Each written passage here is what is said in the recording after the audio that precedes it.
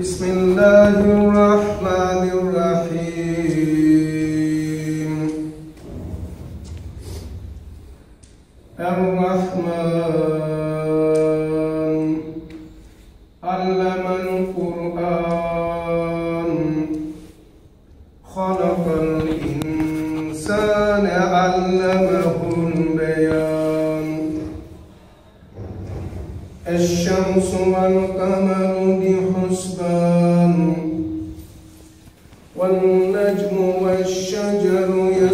يسجدان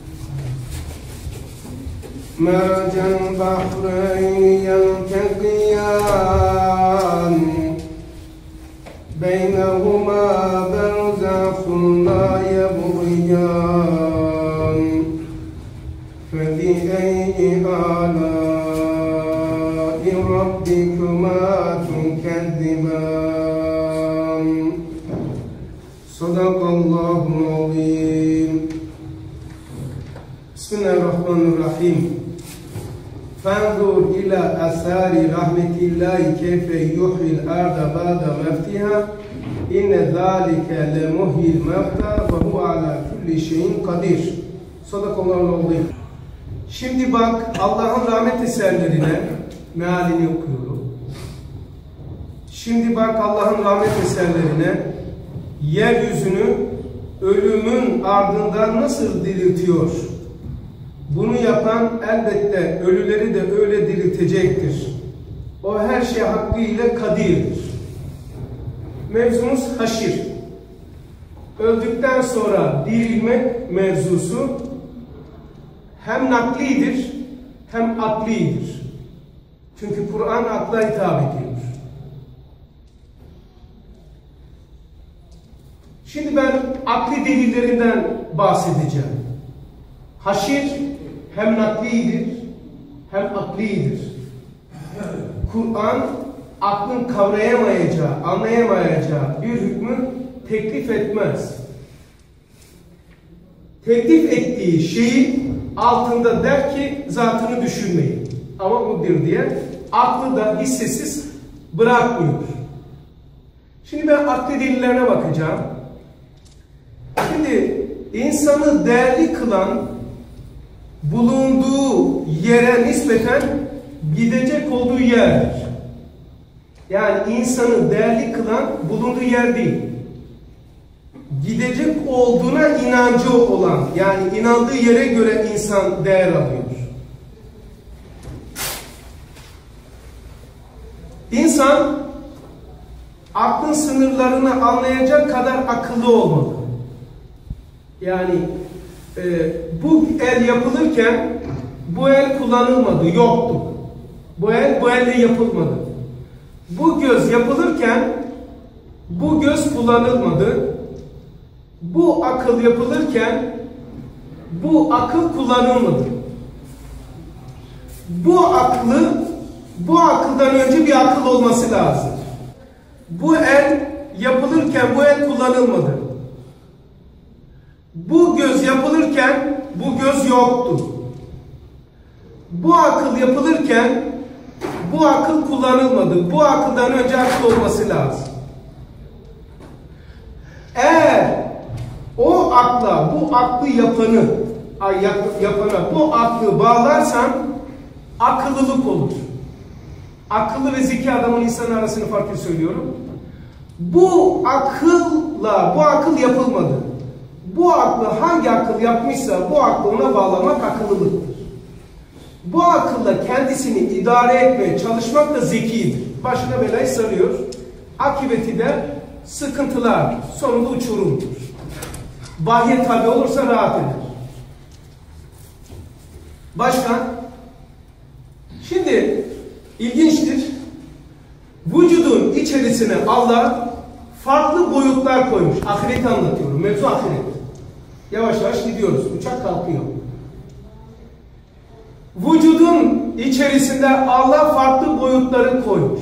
Biz gördüğümüz kadar boyut yok. Örnek veriyorum. Bir buz düşünün. Buzdur ama su değil midir? Su nerededir? Buz neredeyse oradadır. Peki buz gir içeriye. Su gir içeriye. H2O gir içeriye. Enerji gir içeriye. Esir gir içeriye. Maddi hayat gir içeriye. Ak aynı hayat gir içeriye. Akıl cevheri gir içeriye. Ruh cevheri gir içeriye. Nur Muhammed'i daha arkası Esma Hüsna.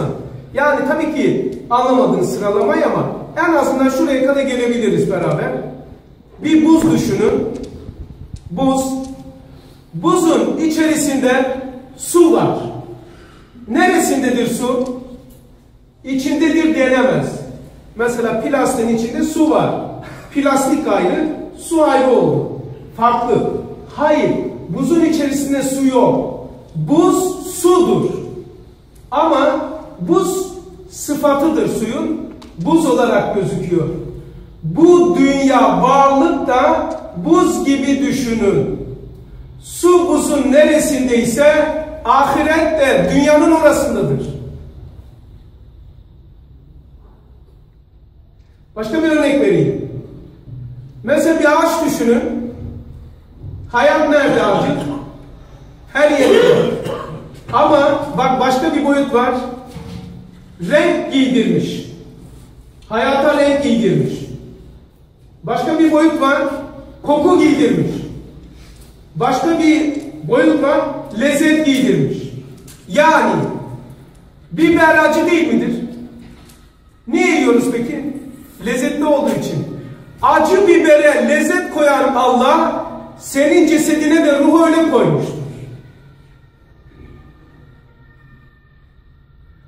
Acının içerisinde lezzet var. Onun için yiyor. Şimdi doğuştan doğuştan buzu görüp su görmeyene suyu, buzun üzerinde yaşasa biz ona suyu anlatmaya kalksak anlatabilir misin? Zor anlatırsın. Başka bir örnek veriyor. Bir odun düşünün. Ona ait ben kalemimi çıkarayım buradaysa. Bak bu odun düşünün. Odun. Bu odunun içinde duman var. Duman. Neresinde? Sağında, solunda, altında, üstünde. Her yerinde duman var. Nur nerede? Işık yaktığımız zaman odunu yakınca ışık nerede? Odunun her yerinde, sağında, solunda, altında, üstünde. Hiçbir yerinde değil, her yerde. Odunun en büyük düşmanı ateştir, odunun içerisinde. Eğer odunu yaktığımız zaman çıkan dumanla göz gözü görmez. Örter, eşeği örter. Odunu yaktığımız zaman çıkan nurla eşeği görürüz. İki tane zıt şey, dikkat buyurun, aynı yerde. Ama birbirini örtmüyor. Odundan misal bedendir. Allah odunun içerisine dumanı hangi ilim ve teknolojiyle yerleştirmişse bedene de nefsi aynı ilim ve teknolojiyle yerleştirmiş. Allah odunun içerisinde nuru hangi ilim ve teknolojiyle yerleştirmişse bedenin içine de ruhu öyle yerleştirmiş. Dumandan kasıt nefistir misal, nurdan kasıt ruhtur. İkisi aynı yerdedir fakat birbirini örtmüyor. Sebebi boyut farklılığındandır. Şimdi bedenin neresinde duman varsa dünyanın orasında cehennem vardır. Odunun neresinde nur varsa cennet dünyanın orasındadır. Çünkü dünya ahiretin üzerine tenteneli bir perdedir.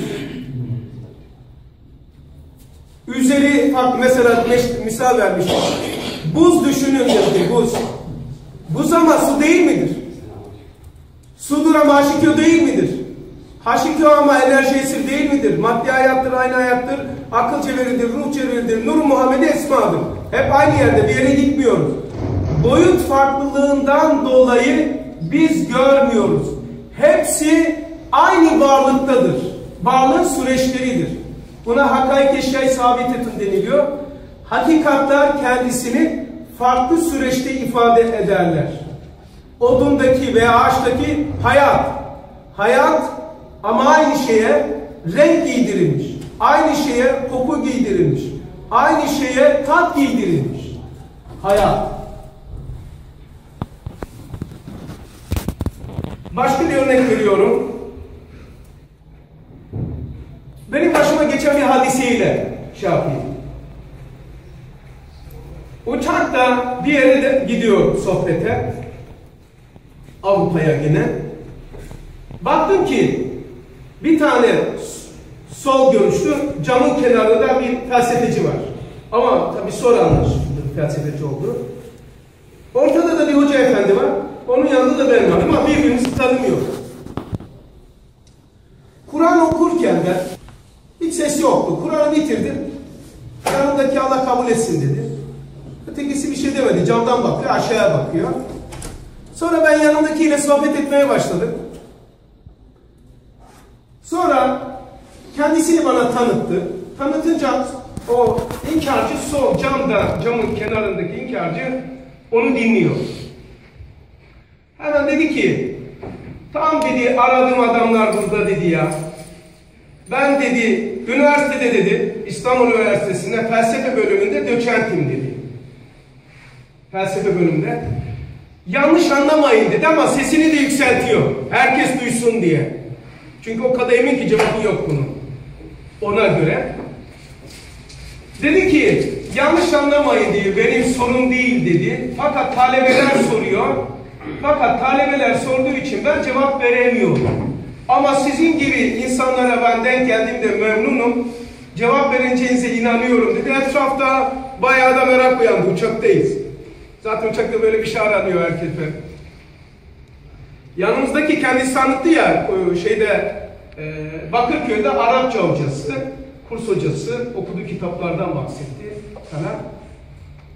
Bayağı kitap okumuş yani. Bizde kat kat şey yapmış, fazla okumuş. Tabii ki o adama muhatap aldı. Dedi ki hocam bu kadar kitap okudunuz dedi. Çocuklar bir şey soru soruyorlar. Gidip de gelen mi var. Yanlış anlamayın diyor. Bu soru benim değil dedi. Talebelerin sorusu ama ben cevap veremiyorum dedi. Şimdi e, kardeşimiz de işte haşi bir nakildir. İşte inanmak gerekiyor, kuvvetli iman lazım. Bir şeyler de söyledi ama felsefeci olunca mal bulmuş, mağrubi gibi daha beter üzerine gitmeye başladı. Dedim ki burada bize iş düştü. Dedim ki bana bırakır mısın? Ona dedim ki delikanlı, gençti, bana bize göre gençti. Gidip de gelen var. Hemen tabii o yargılı dedi ki mutlaka peygamber diyecek. Peygamber aleyhissalatü vesselam gitti geldi Miraç'ta.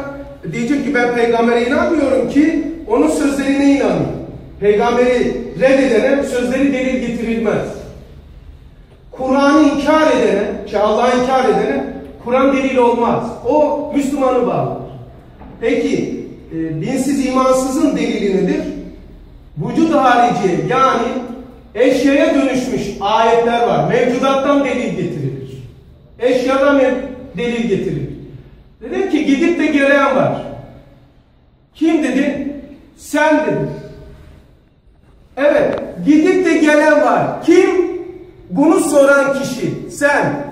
Nasıl dedi? Ben hatırlamıyorum dedi. Ben böyle bir yeri hatırlamıyorum. Anne karnından geldiğini hatırlıyor musun? Yok. Ses yoktur. Ben ekliyorum yok. Anne karnından geldiğini hatırlamıyorsun ama oradan geldiğini inkar edebiliyor musun? Hatırlamadığımız şey yoksa anne karnında da gelmemişizdir. Ona geldiğimiz delil şudur. Anne karnındaki çocuğun çocuğa takılan organlar orada işe yarıyor mu? Ayak takılmış. Anne karnında ayak takılmış. İşe yaramıyor. Anne karnında göz takılmış. Göz işe yaramıyor. Anne karnında çocuğa kulak takılmış. İşe yaramıyor. Sırf göbek takılmış. Yani çocuğa desen ki şu bıçağı al, fazlalıkları at, ayağını atar, gözü atar, kulağı atar, eli bacağı atar. Çünkü bir işe yaramıyor. Peki arkadaşlar, anne karnındaki çocuğa işe yaramayacak organlar anne karnında niye takılmış? El cevap, nereye gidecek olduğu için. Gidecek olduğu alemde kullanılacak organlar lazım olduğu için orada takılmış. Yani ayağın takılması ile gösteriyor ki bu çocuk yürüme denilen bir aleme adaydır, oraya gidecek. Gözün takılması ile renkler ve şekiller alemine gideceğine delildir. Kulağın takılması ile sesler alemine gideceğine delildir. Bir tane çıkıp dese ki ya ses nerede bileceğiz? Sesin en güzel delili kulaktır. Renklerin en güzel delili gözdür. Anne karnında göz takılmışsa renkler ve şekiller alemine gidecektir. Anne karnında ayak takılmışsa yürüme denilen bir aleme gidecektir. Aynen bu örnek gibi. İnsanda bulunan beka arzusu bekaya gideceğini gösteriyor. Bir anda her yerde olma arzusu var, isteği var. Bu isteklere baktığımız zaman insan istekleriyle ahirete elini uzatmış gösteriyor. Ahiretin en güzel delili bizdeki beka arzusudur. Evet arzusudur. Bir anda her yerde olma isteğidir. İnsan bir anda her yerde olmak istiyor. Ama bir yerde. Bakın bakalım istekleriniz hiçbir tanesi dünyada var mı? Peki bize bunlar niye takılmış? Anne karnında organlar niye takılmışsa insanın ruhundaki bu istidatlar da ahirete göre takılmış. Anne karnındaki göz dünya için. İnsanın ruhundaki beka arzusu da ahireti gösteriyor. Ona işaret ediyor. Çünkü ebed arzusu yediğimiz kuru fasulyeden, ekmekten bize geçmiyor.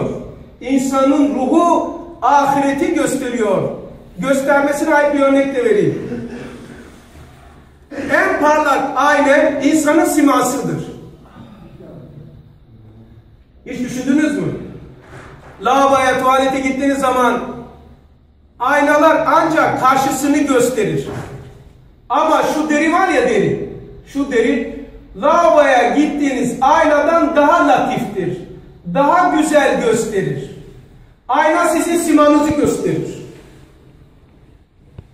Şeklinizi gösterir. Ama sima ruhunuzu gösterir. Namaz kılıyor mu, kılmıyor mu? Faiz yiyor mu, yemiyor mu? Bu sabah kalktı mı, sabah namaza kalktı mı, kalkmadı. Simadan belli değil mi? Gelin Almanya'da, nereli bu? Vallahi bu herhalde Diyarbakırlı ya şey, Türk. Pakistanlı mı, Alman mı, Rus mu? Türkiye benziyor. Gel İstanbul'a, nereli? Bu Vanlı'ya benziyor ya. Gel bana, bu nereli? Falan ilçeli. Simasına bakarak. Falan ilçeye gidiyorsun. Nereli bu? Falan köylüye benziyor. Git o köye. Mehmet Ağa'nın çocuğu bu ya.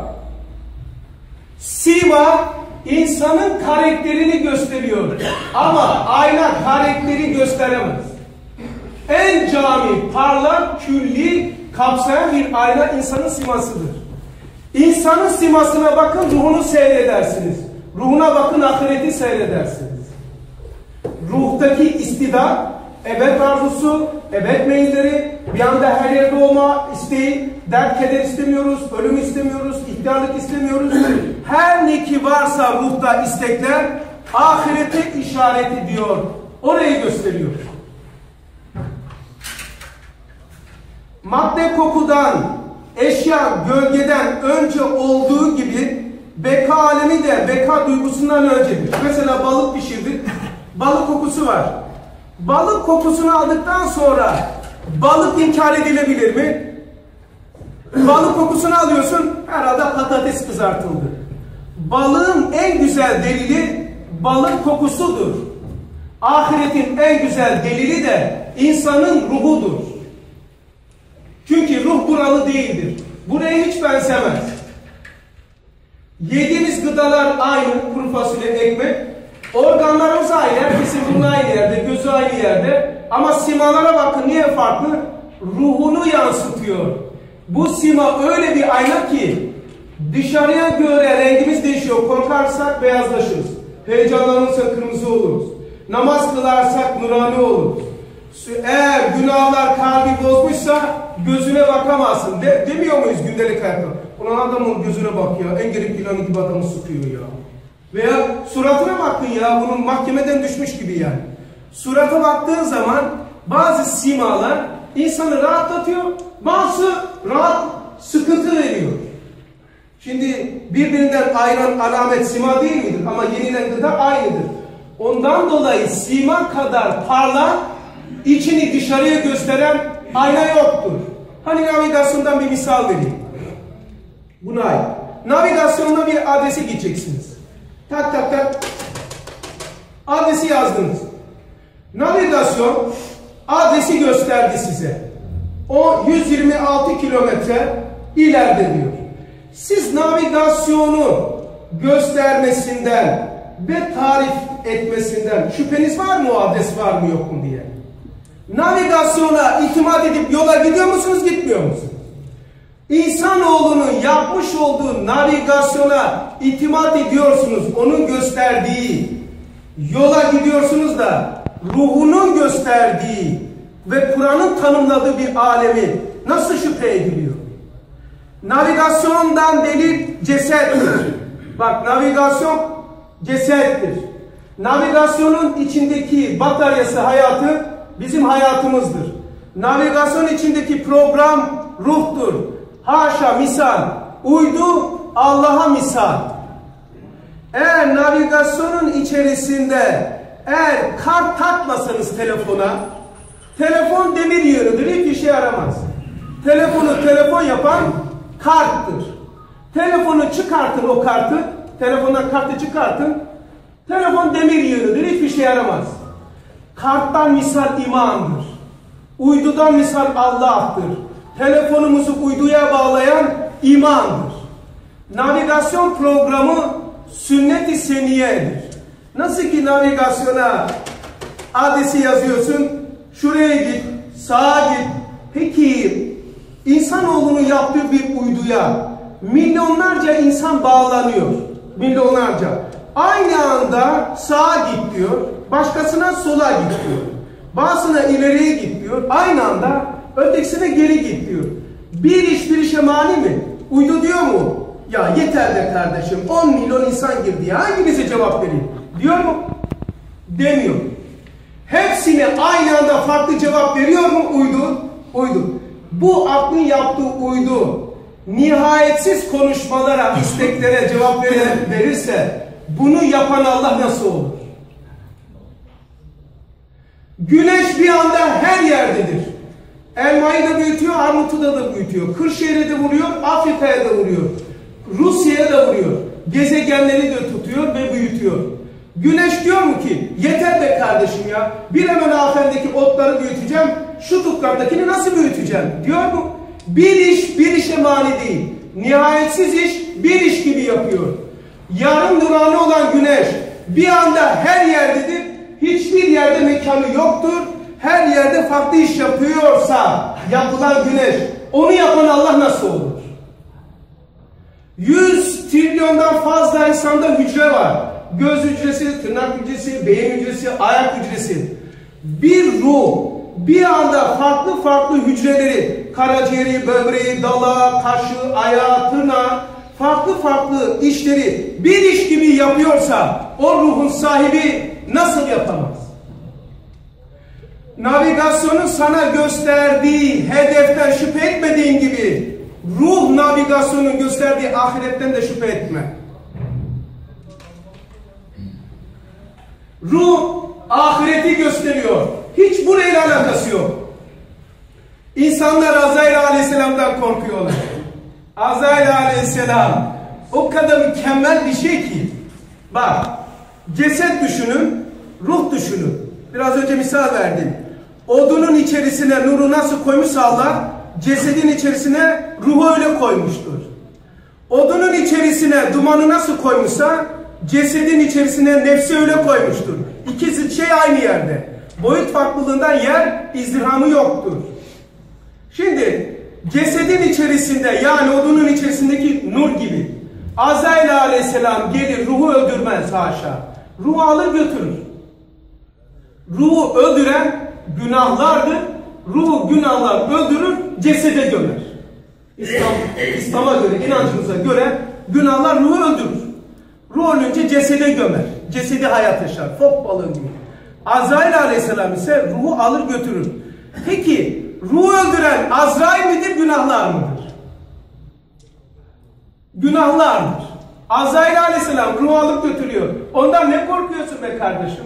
Günahlarından kork. Ondan değil, ondan kork. Başka örnek. Anamızdan doğduk. Başkasından doğmaya aklımız yatıyor da ruhumuzdan ahiretin doğmasına niye aklımız yatmıyor? Yani yeni evlenen bir insan çocuğum olur. Ya nereden olacak gidip de gelen mi var ya? Demeden olmayan bir çocuk evlenirsem olur, yaratılır. Kafana yatıyor da var olup dağılmış olan dedenin zerreleri topraktan dirilmesine niye kafan yapmıyor? Hangisi daha kolaydır? Hiçlikten bebeği yapmak mı?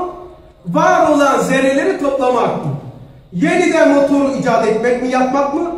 Veya 2-3 sene çıraklık yapıp dağılmış olan arabanın parçalarını, motorun toplamak? Parçaları toplamak daha kolaydır. İlk önce yaratılmayı nazara veriyor.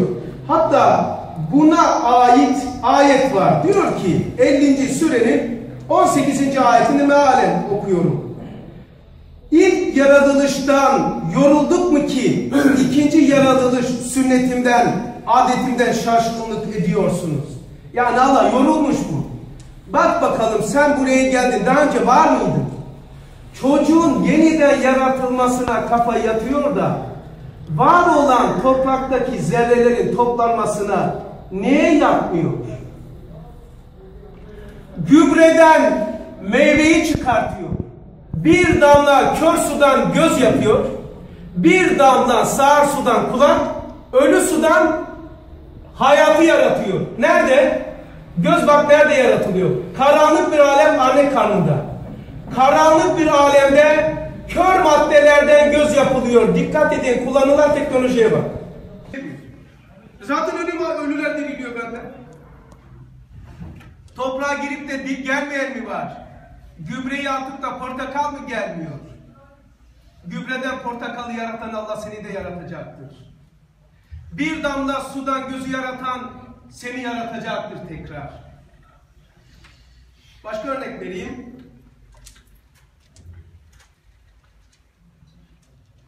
Eğer bir ağacı dikmek meyvesi içindir, faydası için. Düşünün. Bu el yapılırken bu el kullanılmadı. Bu göz yapılırken bu göz kullanılmadı. Bu akıl yapılırken bu akıl kullanılmadı. Şu anda yedi buçuk milyar insan var. Mazideki hariç, yaratılacaklar hariç. Şu anı söylüyorum. Yedi buçuk milyar insanın aklını yapan aklı kül Allah. Eğer bu akılları toprağa sokup diriltmemek üzere bırakırsa bütün akılları israf etmiş olmaz mı? Ben en ufak bir kalemimi bile düşse nerede yaparım? Mesela telefon düşse kimin telefonu derim? La kayıt davran. Ama benim kalemim düşse ya bir dakika basmayın derim. İnsan kendi malına sahip çıkar. Değil mi? Şimdi kendi malına sahip çık, çık diye sana duygu ve düşünceyi veren zat, yedi buçuk milyar insanın aklını yapan Allah, yedi buçuk milyar insanın aklını yapan ak yükü, bu akılları diriltmemek üzere toprağa sokup akılsızlık yapar mı? Haşa. O zaman israf etmiş olmaz mı? Niçin madem diriltmemek üzere yaratmışsa bu dünyada yapılan buna muameleler israf olmaz mı? İsraf olursa ilim cehalete, varlık kişiliğe, hayat mefte hizmet etmiş olmaz mı? Düşünün, gübreden elmayı yapan Allah, ölüleri dirilten Allah, hiç israf yapmıyor. Birbirüslerine elbise giydirmiş, ağaca hayat, yaprak, çiçek, koku, renk, tat ve bir sürü kimyasal hadiselerini birbirine giydirmiş. Kainata dikkat ettiğimiz zaman hiçbir şeyde israf yoktur. Hiçbir şeyde abes yoktur. İsraf ve abes olmayan bir zata akılları sokacak, diriltmemek üzere bırakırsa akılsızlık etmiş olur haşa. Altı buçuk, yedi buçuk milyar insanın ustası böyle yapmaz. Çünkü aklın gereği değil. Yani sen maaş aldıktan sonra 500 euro, 500 değil mi pembe? Bağlaya ben bu paranın nasıl yandığını hiç görmedim diye tutuşturan var mı? Ya bir bakayım ya şu para nasıl yanıyor ya? Ulan herkes bunun arkasına kokuyor, koşuyor ama şu paranın nasıl yandığını var mı aranızda parayı tutuşturan? Aldım bir Mercedes, ulan vallahi herkes biniyor. Ben de bir keyfimi bakayım. Bu nasıl tutuşturuyor diye yakar mısınız? Niye yapmazsınız? Böyle yaptı. Niye yapmasın? Aklın gereği değildir. Yakarlarsa Bakırköy'ü tıkarlar sizi. Bakın akıl hastanesine. Aklın gereği bu değildir. Peki ben bu küçük akılla malımı israf etmiyorsam, paramı yakmıyorsam, aramı ya, arabamı yakmıyorsam, benim aklımın ustası benim aklımın yapmayacağını yapmaz. Çünkü bu akıl yapılırken dikkat et, bu akıl kullanılmadı. Bu aklı yapana bu aklı bağlarsan akıllılık olur. Ya akılın takılın diye hitap ediyor. Eğer bu akılla kendin kendine yeteceğini zannedersen belayı sarmış olursun.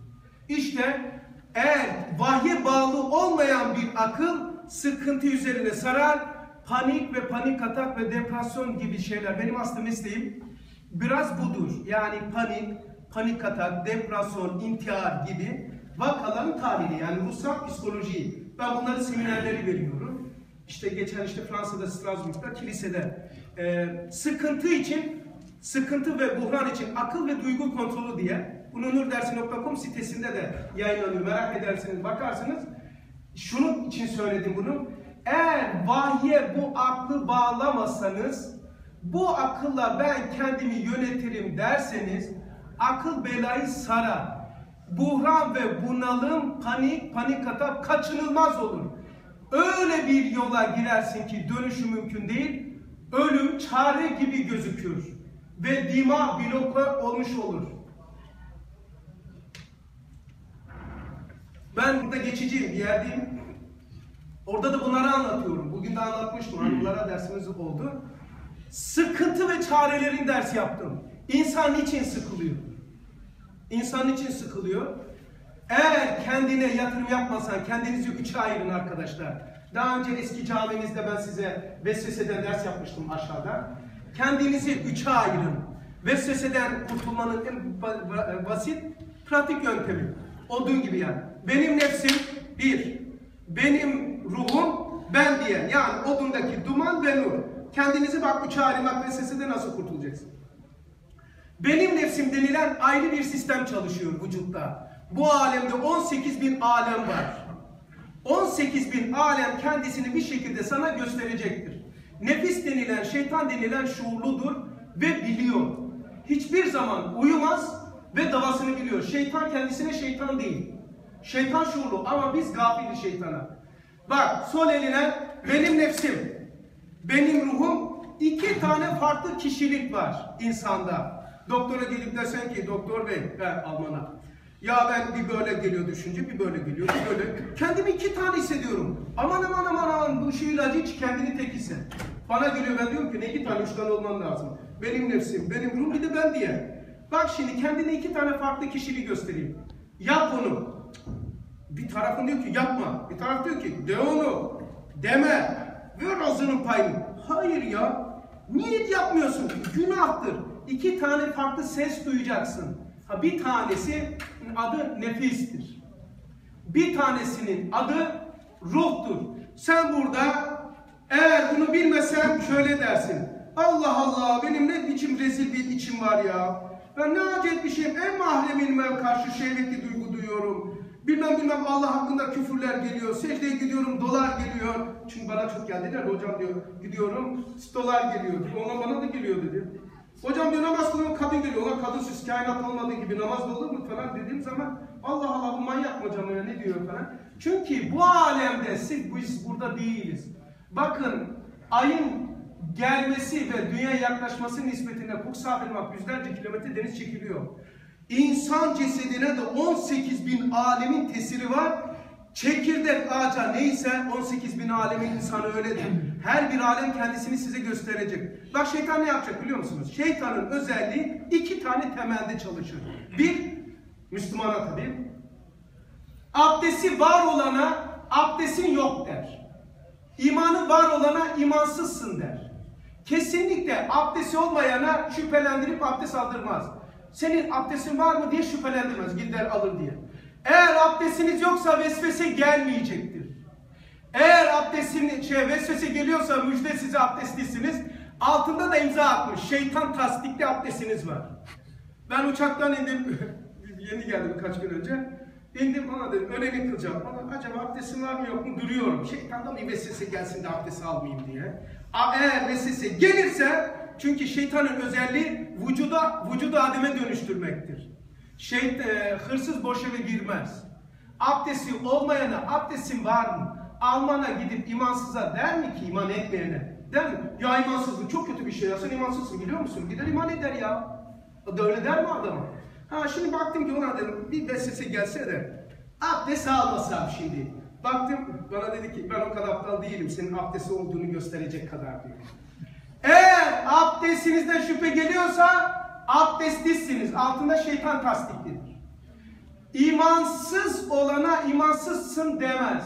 İmansızlıktan korkutmaz. İmanlıyı korkutur. Şey, e, nefs-i emmare ve ervah habiselerisi dima musallat olur. O da intihara götürür. Nedir o? Vehimdir. Vehimin özelliği şudur. Varı yok eden, yoku var gösterir. Öyle bir özelliğe sahip. Tabii kısa zaman, bunlar 5 dakika mı kaldı? Şimdi vehim dimadadır. Yani dimadaki vehimin özelliği şu. Suizanlar, gıybetler, böyle e, kendisine faydalı olduğu halde e, insanı böyle itici, kibir, gurur, negatif yorumlamak hep vehimden kaynaklanıyor, dimadan kaynaklanıyor. O varı yok, yoku var gösterir. Eğer insanda o çok aktif olursa, ondan haberin yoksa beyin Allah muhafaza etsin. İnsana her türlü kötülüğü yaptırır. Her türlü zararı kendisine verdirir. Toparlayayım şu e, vesveseyi. Vücudumuzda yani odunda duman ve nur olduğu gibi bedenimizde de du, ne dumandan kasıt nefis, nurdan kasıt ruh var. İkisi ayrıdır ama ikisi aynı yerde bulunabilmesinin sebebi boyut farklılığıdır.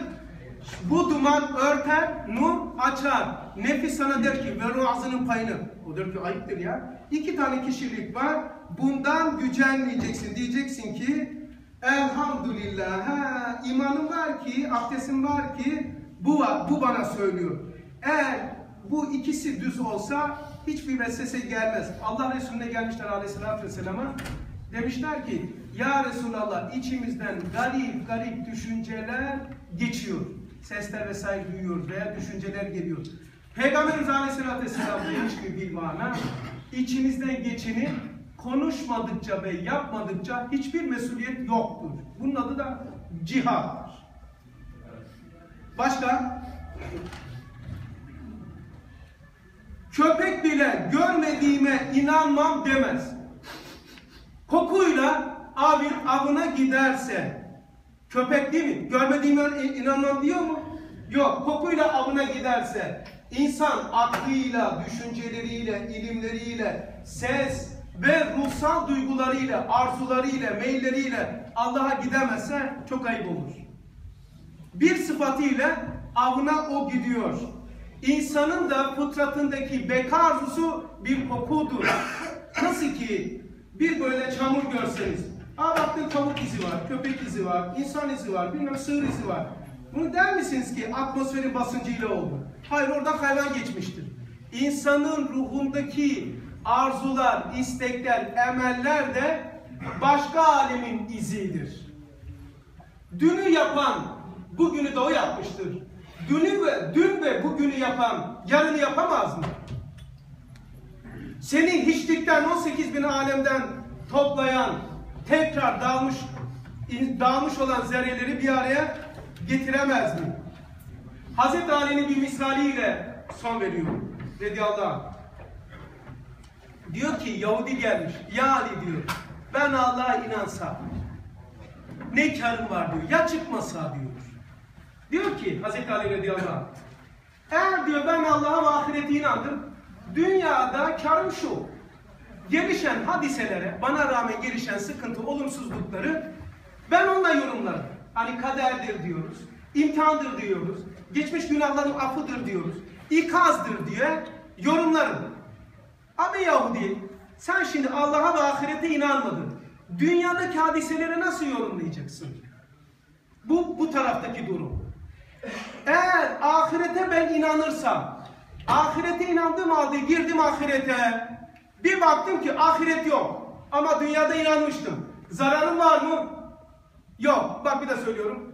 Ahirete inandım. Namazda kıldım. Gittim ahirete. Bir baktım ki hakikaten ahiret yokmuş. Yok. Yokluktan bana ceza veren olur mu? Sen niye varlığa inandın? Bak yokluk çıktı diye. Al sana yokluktan bir ceza diyen yok. Demek ki inandığımız haşa yanlış çıksa bile zarar ihtimali yoktur. Yüzde elli ötekisine geçelim. İnanmadı, dedi doğru çıktı. Yokluk çıktı. Aferin lan sana. Yokluk dedin, yokluk çıktı. Al sana mükafat diyen var mı? Yok. Demek ki inkar doğru çıkarsa bile karı yoktur. İman yanlış çıkarsa zararı yoktur. İman doğru çıkarsa sonsuz menfaati vardır. İnkar yan inkarını yanlış çıkarsa İslam doğru çıkarsa sonsuz helakettir. Sevgili kardeşim daha ilim ve mantık yokken yüzde elli ya ahiret vardır ya yoktur. İnanmanın hiçbir bedeli yoktur. Ama inanmamanın bedeli nihayetsiz rızk taşıyor. Peki bu kadar en ufak bir zararı, en ufak bir tırnağın batmasını, acıyı tahammül edemeyip rızk almayıp doktora giden adam, çare arayan bir insan, insanın fıtratının gösterdiği beka alemine ait çare aramaz mı? Geceniz ve gündüzünüz, üç aylarınız mübarek olsun. Vâhır davâhum enilhamdülillahi rabbil alemin. Dinlediğiniz için ve Hasretin hocamıza da hepinize teşekkür ediyorum. Vâhır davâhum enilhamdülillahi rabbil alemin. El Fatiha temas selavat.